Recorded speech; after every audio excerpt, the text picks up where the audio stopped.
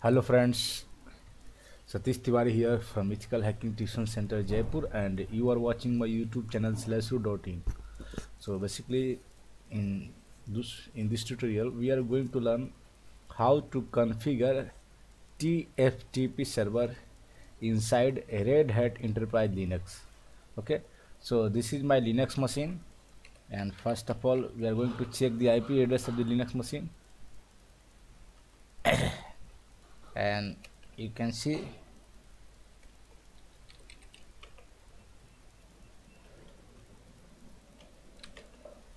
the IP address of my Linux machine is 192.168.43.101 okay so suppose diagram make a diagram हम एक diagram बना लेते हैं और उस डायग्राम के थ्रू हम समझेंगे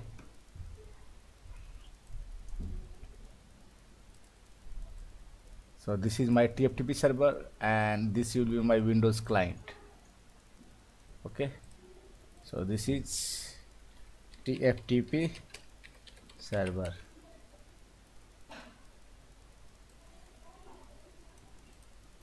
And this will be windows machine which will be a tftp client. Okay? So this will be suppose rcl5 and this will be windows 8.1 okay ये हमारा विंडोज़ 8.1 मशीन है और एक आर ची फाइव है। आर ची फाइव के I P address आप देख सकते हो forty three point one zero one जो आर ची फाइव के आई पी एड्रेस है, वो है one ninety two point one sixty eight point forty three point one zero one यानी जो हमारा T F T P server होगा, उसका आई पी एड्रेस ये है। और हम देख लेते हैं हमारा विंडोज़ क्लाइंट इसका आई पी क्या है। आई पी कन्फिक से forty three point one eight zero देख सकते हो आप। ठीक है? तो हम यहाँ देखते हैं। Point one sixty eight point forty three point one eight zero ये किसका आई पी एड्रेस है? हमारे विंडोज़ मशीन का। ठीक है? सो सर्वर से क्लाइंट में डेटा ट्रांसफ़र कैसे करेंगे? अपलोडिंग और डाउनलोडिंग दोनों ही केस में। ठीक है?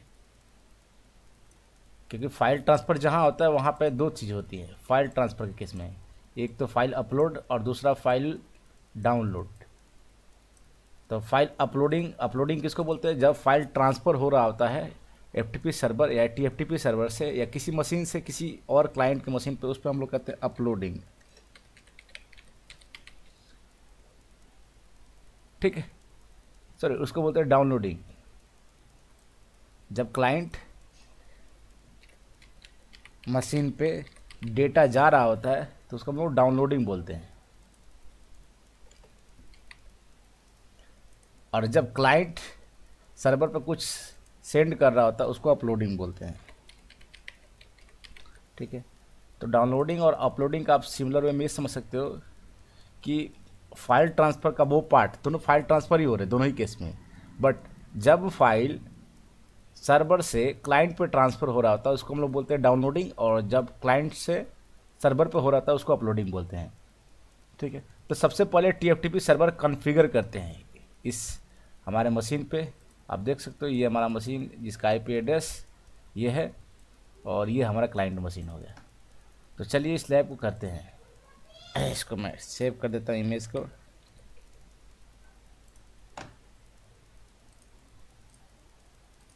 सबसे पहले आपका यम कॉन्फ़िगर होना चाहिए, क्योंकि पैकेज इंस्टॉल करना होगा आपको सर्वर पे।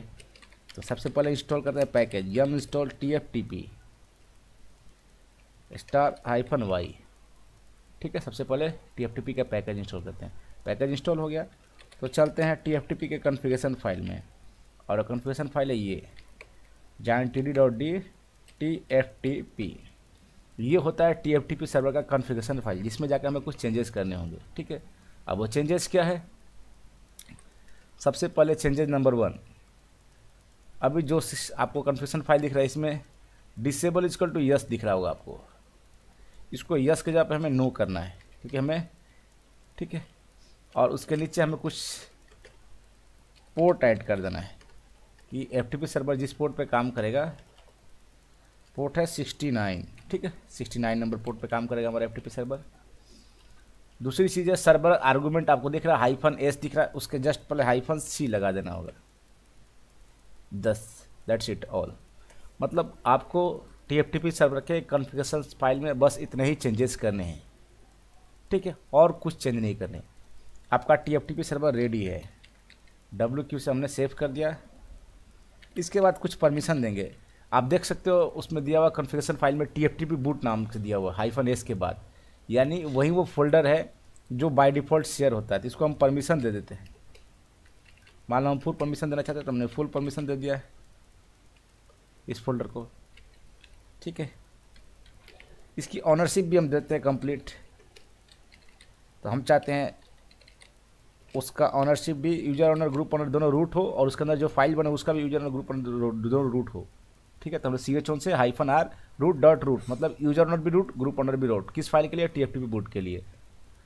तो ये भी हमारा कंप्लीट हो गया। अब फायरवॉल बाय डिफ़ॉल्ट होगा तो फायरवॉल को अभी हम प्लस ही कर देते हैं ऑफ़ ही कर देते हैं। आईपीडोस हाइफन कैपिटल एफ़ से।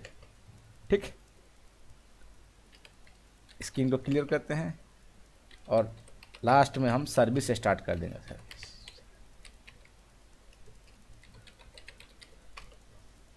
ठीक। तो हमने सर्विस स्टार्ट कर दी।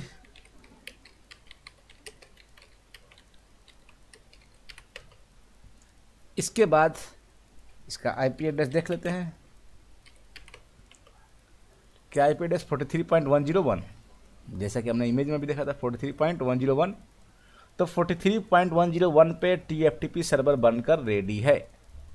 अब हम चलते हैं forty three point one eight zero यानी कि हमारे क्लाइंट मशीन जो कि हमारा विंडोज़ एट मशीन है, ठीक है? उस सिस्टम पर चलते हैं, उसके किसी ड्राइव में चलते हैं, और चलकर देखते हैं क्या होता है। तो मान लीजिए हम सी ड्राइव में गए, ठीक है? और सी ड्राइव में आकर हम कुछ फ़ाइल बनाते हैं यहाँ पे। न्यू करके मैं एक फ़ाइल बनाता हूँ।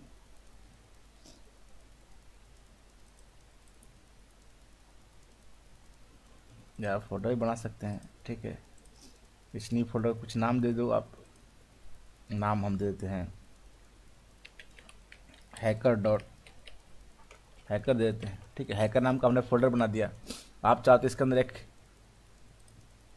फ़ाइल भी बना सकते हो। फ़ाइल बनाने के लिए आप कमांड प्रॉम्प्ट खोल लिया हमने। ठीक है? सी डी करके हम लोग सी ड्राइव में जाते हैं। और फ़ाइल बनाने के लिए कमांड होता है copy space con space file name file का नाम मैं दे देता हूँ, मान लो Linux Tiwari Linux Tiwari dot T X T और इसके अंदर जो लिखना है, लिख देता हूँ मैं। इसके अंदर hi I am Satish Tiwari from ethical hacking tuition centre Jaipur. ठीक है। सॉरी हमने कुछ गलत कर दिया हम जब कमांड प्रॉम्प्ट को खोलेंगे तो हम उसको as a run as admin करेंगे। राइट क्लिक कर कर रन एज एडमिन चलाएँगे। ठीक है।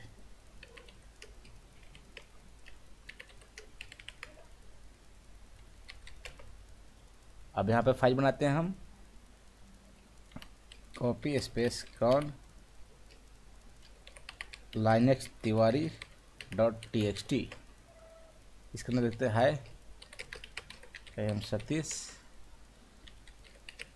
from ethical hacking tuition centre, Jaipur, और कंट्रोल जेड और इंटर। ठीक है डी आई आर करते हैं। तो फ़ाइल बन चुकी होगी। आप देखो, ग्राफिकल में भी आपको दिख रहा होगी, ये फ़ाइल देखो बन गई। इसके अंदर ये लिखा हुआ है, ठीक है? इसको सेव कर दिया हमने। ठीक है। अब चलते हैं कमांड प्रॉम्प्ट वापस वो कमांड प्रॉम्प्ट खोल लेते हैं।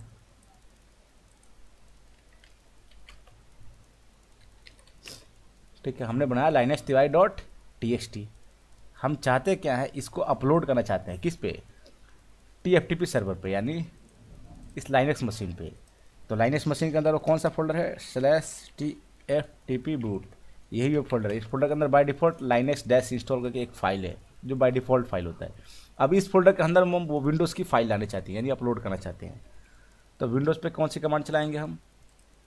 हम लाइनस टी डॉट टी को अपलोड करना चाहते हैं तो क्या चलाएँगे यहाँ पे? टी एफ़ टी पी और हमारा आई पी एड्रेस किसका? T F T P server का। और T F T P server का आई पी एड्रेस क्या है? सर्वर का I P address one ninety two one sixty eight forty three point one zero one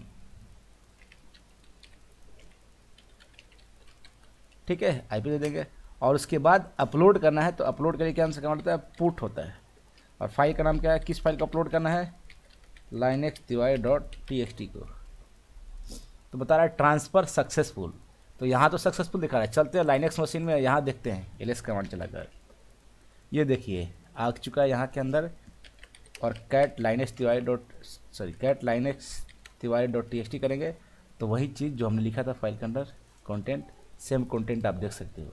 यानी हमारा F server पे काम कर रहा है, और हमने जो अपलोड किया विंडोज़ से फ़ाइल वो होगी हो भी गया। अच्छा अब हम क्या काम करते हैं? हम यहाँ लाइनेस में कोई फ़ाइल बनाते हैं, जैसे vim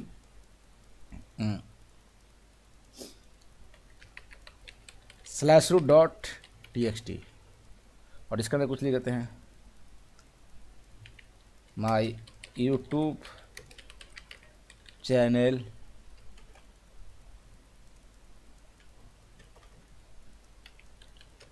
name is slash root dot in ठीक है, ये लिखकर हम फ़ाइल को सेव कर देते हैं। अब विंडोज़ से इस फ़ाइल को लेंगे कैसे हम? यानी विंडोज़ डाउनलोड कैसे करेगा? लाइनेक्स से वो फ़ाइल को, जो फ़ाइल हमने बनाई है। ठीक है, कौन सी फ़ाइल हमने बनाई है? Slash root dot T X T तो विंडोज़ पर आपको एक कमांड चलाना पड़ेगा टी एफ़ टी पी और सर्वर का IP address forty three point one zero one और डाउनलोड करने के लिए गेट कमांड यूज़ करते हैं, और उसके बाद फ़ाइल का नाम स्लेसू डॉट टी एक्स टी ये देखिए सक्सेसफुल और ये देखिए इधर साइड में डाउनलोड भी हो गया स्लैश टी ओपन करते हैं। ये आ गया हमारा विंडोज़ के अंदर। तो इस तरह से हमने फ़ाइल को अपलोड किया, डाउनलोड किया, ठीक है? पी सर्वर हमारा रनिंग है। पी सर्वर का यूज़ हम राउटर के कन्फिगेशन का बैकअप, राउटर के IOS इमेज का बैकअप एंड रीस्टोर के लिए भी कर सकते हैं। मैंने एक ट्यूटोरियल भी डाल रखा है कि सिस्को राउटर कन्फिगेशन कैसे करते हैं। उसका कन्फिगेशन फ़ाइल का जो बैकअप हम लोग राउटर के जितने भी फाइल्स हैं, उनका सबका बैकअप हम लोग कैसे इस टी सर्वर के ऊपर लेते हैं। ठीक है? तो अगर आपको वीडियो पसंद आया तो आप इसको शेयर करना लाइक ज़रूर करना, और कोई डाउट हो तो कमेंट करना okay thank you thank you for watching